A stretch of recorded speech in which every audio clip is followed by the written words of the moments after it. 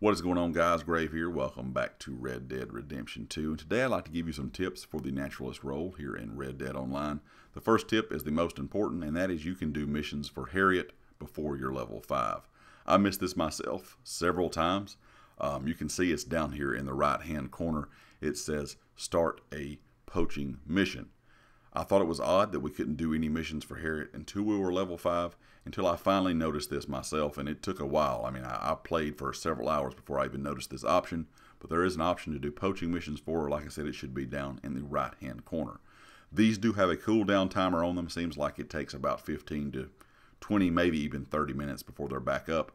But every 20 to 30 minutes, you're able to do another poaching mission. They will give you Naturalist XP. They're very easy to do.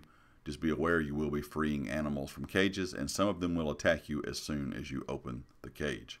Some other ways, of course, I'm sure you guys have noticed there's a lot of ways you can gain this naturalist XP, but if you're out just starting out in the naturalist role, anytime you discover an animal for the first time, you track it, of course, you know, you study it, you're going to gain naturalist XP. You're also going to gain XP from collecting those samples and selling them back to Harriet.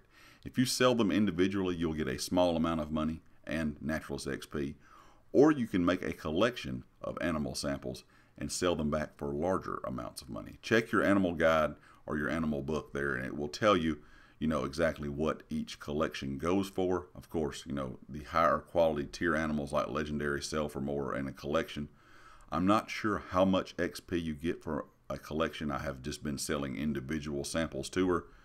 Uh, but I'm sure you get a pretty large chunk of XP along with that large chunk of money. I'm sure most of you guys know the animal spawns have been fixed in game and there's tons of wolves out. And I kind of learned this the hard way, but I had collected samples from a group of wolves that had, that had attacked me. I was in the same area, pretty much 5 to 10 feet from one of those wolves, doing some other uh, animal sample collecting. And those ones that I had, you know, down and put to sleep got back up and attacked me again. So be aware if you're downing a predatory style animal, they will get back up if you stay in that general area and they will attack you once more. And if you kill them at that point, you cannot skin them. Anything that you have gathered a sample from, if it gets back up, you cannot kill it and then skin it. It will not allow the game will not allow you to do that. I think a lot of people are confused at how many shots it takes to down these enemies so you can gather samples from them. From what I have gathered, it seems like six to eight shots on the larger animals smaller animals like rabbits, one to two shots, and really small animals like squirrels, majority of the time I kill them. I have gathered one sample from a squirrel. I'm not sure how I did that. If you guys know a, a tip for that, you know, how to, you know, gather samples from these really small animals, leave it down in the comment section below. I may have headshotted it. Uh, that might have been the trick. I'm not sure. But it does not seem to matter where you shoot these animals. It takes a lot to bring down a big animal with these new varmint rifle bullets. So just be aware you're going to be buying a lot of bullets from Harriet.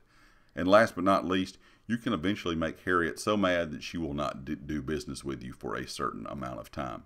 Last night I was farming for several hours. I had gathered tons of samples and I had killed tons of animals and skinned them as well. When I went back to Harriet, she pulled out her perfume bottle in a absolute rage, sprayed me in the face and told me she was not going to do business with me anymore.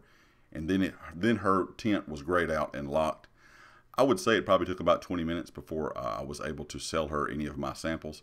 So just be aware you can't eventually just piss her off so much that she's not going to do any business with you. Some people have said you can turn your game off and turn it back on, and she will uh, she will do business with you then. I'm not sure if that works. I did not try it uh, personally. Anyway, guys, I hope these tips uh, these tips helps you out. Of course, if you like the video, hit the like. If you hadn't subscribed yet, please do so. If you are a subscriber, make sure you click the bell icon in the top right corner, and be sure to check out everything down in the description. The uh, affiliate here for the channel, GT Racing, is listed down there. Be sure you give those guys a look. And also the community Discord in my Twitter is linked down there as well. And I'll catch you all next time. Peace.